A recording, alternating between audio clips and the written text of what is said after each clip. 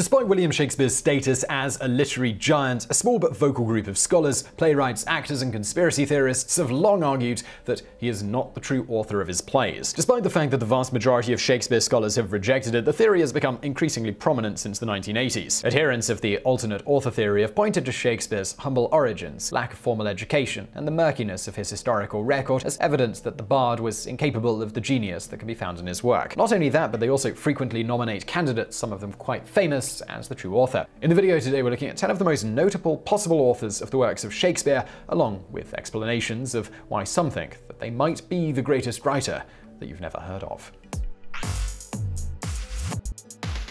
Number 10. Sir Fulke Greville.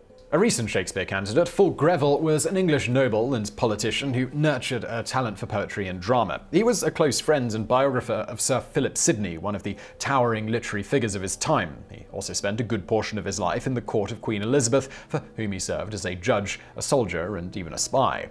Evidence for authorship. The argument for Greville's authorship is based around an obscure quote from his biography. It states that he wanted to be known to posterity under no other notions than of Shakespeare's master. This strange statement caused scholars to begin seriously considering Greville as a candidate for being the true author, and the more he was researched, the more evidence was uncovered. Greville was well known for his writing skill, and his position as a court spy had taken him all over Europe. This would have given him the knowledge and perspective in order to write Shakespeare's foreign set plays. His life also has eerie parallels to Shakespeare Shakespeare's. Both men lived in Stratford upon Avon, perhaps even on the same street, and both had many of the same friends and acquaintances. The biographical similarities are so striking, in fact, that many have come to argue that Shakespeare, the historical figure, was actually Fulke Greville, who used the name as a pseudonym in order to write plays while still maintaining his position as a noble. Number 9. Amelia Lanier. Several of the candidates proposed have been women, and of these, the mysterious Amelia Lanier is one of the most famous. Born Amelia Bassano, she was married to a court musician but spent several years as the mistress to the first cousin of Queen Elizabeth. Although the details of her life are incomplete, Lanier is remembered today for being one of the first professional female poets in England. Evidence for authorship. Lanier's lover was a patron of the arts, so she would have been acquainted with the theatre and possibly with William Shakespeare himself. Originally, she was considered by many to be the inspiration for several of Shakespeare's famous love poems, particularly the more risque Dark Lady sonnets. This theory has recently been expanded to argue that Lanier is responsible for all of Shakespeare's work and that she used Shakespeare as a front to make it appear as though her plays were written by a man. Evidence includes specific and unusual clusters of words that seem to only appear in Lanier's work plays like A Midsummer's Night's Dream, and certain plot points exist in both Shakespeare's play and in some of Lanier's poetry work. In several cases, Lanier's biography also lines up with content in Shakespeare's plays, and different versions of her name are used as character names throughout the Shakespeare canon, which some claim she included as hints that she was the true author. Number 8. The Group Theory. Since the 1800s, a popular Shakespeare authorship theory has been that the plays were not the work of one writer, but rather a syndicate of different playwrights with a concerted agenda. According to the theory, the group merely used the figure of William Shakespeare as a front for the release of its collective writings. Evidence for authorship. Analysis of Shakespeare's work has often revealed a vast breadth of style and technique, which some argue is far too complex for the plays to only have been the work of one man. A number of different group candidates have been proposed, including Mary Sidney, Francis Bacon, and even Sir Walter Raleigh, all of whom have been put forth as possible leaders of the Shakespeare Syndicate. One of the earliest group theory studies proposed that Bacon and Raleigh used Shakespeare's work as a way to advance a particular political system in the popular culture. Proponents of this idea point out that in the Elizabethan era, it was not unusual for plays and other forms of fiction to be co written by multiple authors. For them, the amount of knowledge that the writer of Shakespeare's plays held on everything from religion and science to court history and law is simply too sprawling to have come from the mind of a single person. Number 7. Roger Manners, 5th Earl of Rutland. A noble who supposedly studied under Francis Bacon, Roger Manners was the fifth Earl of Rutland, a county in the English Midlands. Manners was a patron of the arts who was renowned for his keen intellect. He attended both Oxford and Cambridge and travelled widely throughout Europe and corresponded with many of the scholars and thinkers of the day evidence for authorship. Like many of the other candidates, Manners possessed the education, skill, and perspective to have written plays and poems of a very high quality. Even more interestingly, the Earl, his wife Elizabeth Sidney, and a small group of friends were known to publish writings under various assumed and supposedly common names for their own amusement. Manners in particular was known to have been a prolific writer, but he only published under pseudonyms. This, along with the fact that Shakespeare's writing ceased as soon as Manners and his wife died, have led many to argue that the two acted in concert to produce the play plays and then published them anonymously. Number 6. William Stanley, 6th Earl of Derby. An English nobleman with a penchant for playwriting, William Stanley served as the 6th Earl of Derby from 1594 until his death in 1642. He is best known for the travels he undertook as a young man, which saw him spend time in France, Italy, Russia, Greenland, and Egypt. Evidence for authorship. The Earl of Derby was first proposed as a Shakespeare authorship candidate in 1891 when an archivist uncovered letters from a Jesuit spy that described Stanley as being busy penning plays for the common players. According to most Derbyite theory, passages in plays like Love's Labour Lost are too steeped in French and European history to have not been written by someone who was intimately familiar with the going ons in the court. The well travelled Stanley can be placed in France and Italy around the time when these pivotal events took place, and his position as a noble would have meant that he was privy to key events that may have inspired scenes in the plays of Shakespeare. Meanwhile, characters in other Shakespeare plays have been connected to certain real life acquaintances of William Stanley, among them the occultist John Dee, who many say is the inspiration for the character of Prospero in The Tempest. According to proponents of the Earl of Derby's authorship theory, the real William Shakespeare was merely a frontman through whom the plays were released. Stanley was the true author but was unable to attach his name to his work out of a fear that being a published commercial writer would sully his reputation as a nobleman. Number 5. Mary Sidney Herbert, Countess of Pembroke. In the late 1500s and early 1600s, perhaps only Queen Elizabeth was a more educated and influential woman than Mary Sidney Herbert.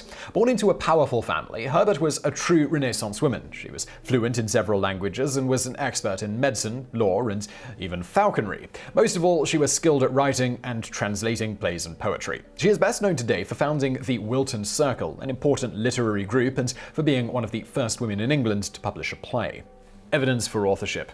Mary Sidney Herbert is certainly the most popular female candidate. She had the background, the intelligence, and the desire to create writing on a level of Shakespeare, and her position as a woman gave her the perfect motive to do so. At the time, no lady would have been allowed to have her plays performed in the theatre. Scholars agree that Shakespeare was aware of her work and may have even used her, The Tragedy of Antony, as a template for his play Antony and Cleopatra. With this in mind, many have argued that the notion that she wrote Shakespeare's plays herself is not that far fetched. Another crucial piece of evidence concerns Shakespeare's famous love sonnets, some of which tell you of an affair with a younger man who was himself seeing a dark eyed, dark haired woman. A similar story is documented in Mary Sidney's personal life, which has led some to argue that the sonnets are autobiographical. Scholars have long noted feminine touches in the voice and the work of Shakespeare. Those who believe in Mary Sidney's candidacy would say that this is because the author was indeed a woman.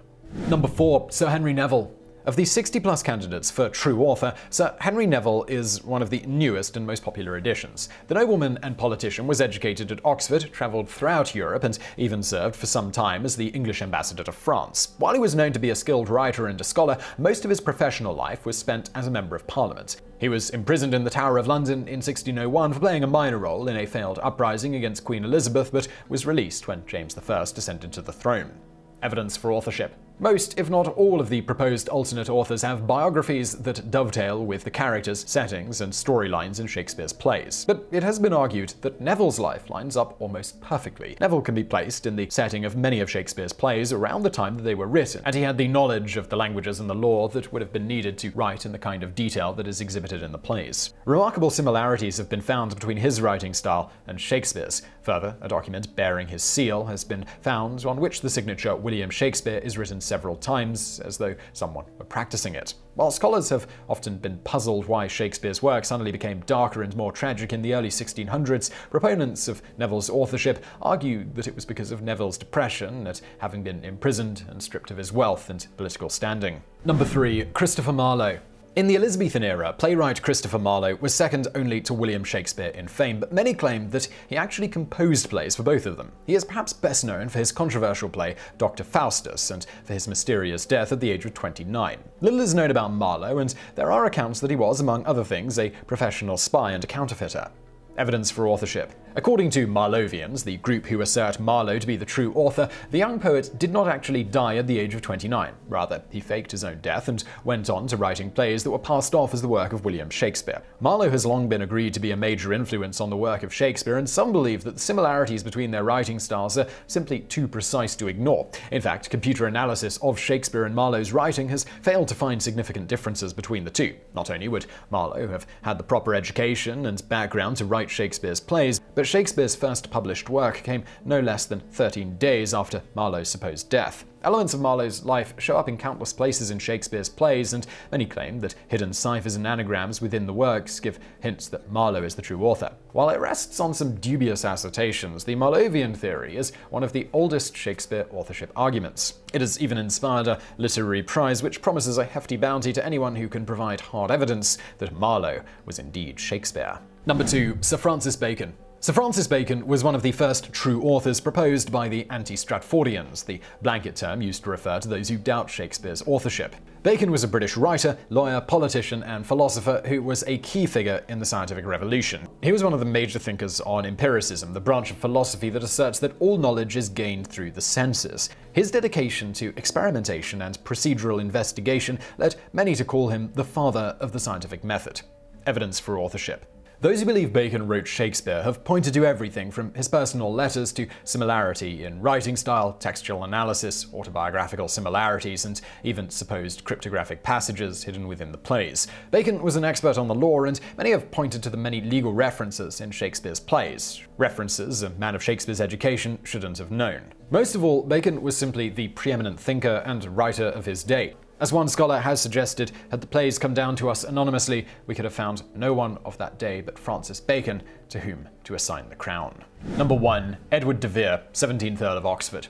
The 17th Earl of Oxford, Edward de Vere, was a nobleman, a poet, and a champion jouster who spent his early life as a ward of Queen Elizabeth. He received an excellent education before serving in the House of Lords and then travelling to France and Italy. He spent most of his life as a regular fixture in the Queen's court, but he also distinguished himself as a patron of the theatre and as a lyrical poet evidence for authorship. In recent years, Edward de Vere has become the most popular candidate for being the true author of the works of Shakespeare. Not only was the Earl of Oxford often praised for his exquisite poetry and plays, but also he was deeply entrenched in the theatre scene in London. He was known for secrecy with regard to his writing. No plays written under his name have survived, which many say make him the perfect candidate for being a suppressed author. Oxfordians point to de Vere's travels and his position as a courtier as proof that he would have had all of the reference he needed to write about nobility and royalty as they are depicted in the plays of Shakespeare. They have also studied his biography closely and found many parallels between his life in court and the characters and events in Shakespeare's plays. Since so much of the content of the plays is satirical, De Vere also had a perfect motive for wanting to remain anonymous. Some scholars have claimed that the language employed by De Vere in his personal writings is remarkably similar to that of Shakespeare, and they point to a Latin grammar document referenced in Shakespeare that contains the sentence, Edwardus is my proper name, as being a possible hint from De Vere. Meanwhile, it was De Vere's family that financed the publication of the first folio of Shakespeare's writing in 1623. Perhaps most interesting of all, although Shakespeare lived 12 years past De Vere's death, he remained silent on contemporary topics in his later work.